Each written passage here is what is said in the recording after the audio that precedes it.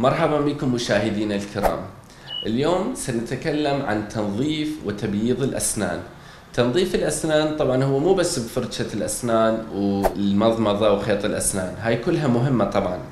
بس إحنا ننصح دائما إنه تراجعون دكتور الأسنان على الأقل كل ستة اشهر لأنه أكو بعض التكلسات وبعض الأشياء تكون ما بين الأسنان أنت ما تقدر آه تنظفها بالبيت.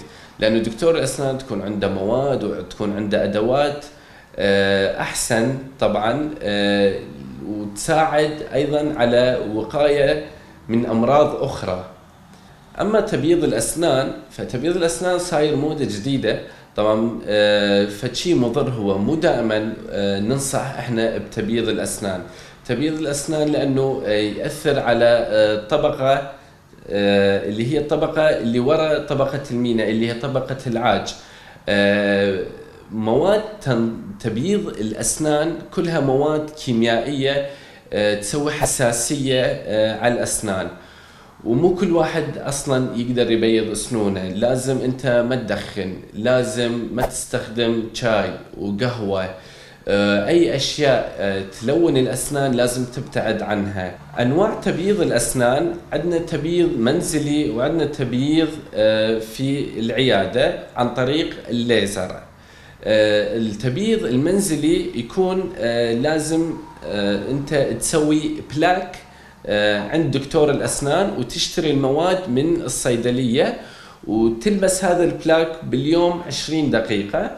وتنزع لأنه إذا تظل لابسة راح يأثر بشكل سلبي على لون الأسنان. وطبعا التبييض المنزلي ما ينطي نتيجة رائعة مثل التبييض اللي يسوي لك اياه دكتور الأسنان. لأنه تبييض الأسنان في العيادة راح ينطيك نتائج أفضل بكثير. لأنه استخدام الليزر عن طريق إشعاعات هاي الاشعاعات راح تخلي هاي المواد تدخل إلى طبقات أخرى وتحول لون السن من أصفر إلى أبيض. طبعا التبييض بالليزر طبعا صعب جدا لأنه راح يؤدي إلى حساسية في اللثة وحساسية في الأسنان أيضا.